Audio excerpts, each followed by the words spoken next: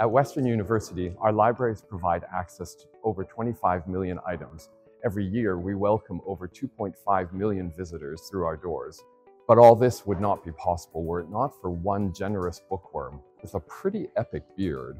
Over 100 years ago, John Davis Barnett, an engineer with the Grand Trunk Railroad, donated his personal collection of over 40,000 books and other items to Western, transforming a meager 3,000 volume collection into a true academic library. Speaking of epic beards, meet Dr. James Miller, Professor Emeritus and founder of the only known Pride Library attached to a Canadian university. Founded in 1998, the Pride Library's collection has grown to more than 15,000 materials in 18 languages. It's located in our D.B. Weldon Library. And thanks to our partnership with Dr. Miller, anyone can access the Pride collection using Western's library catalog.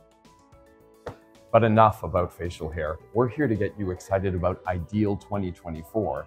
In particular, we at Western are ready to talk accessibility, ban books, censorship, diversifying collections, and engaging with communities. But most of all, we look forward to meeting you and learning from you. See you soon.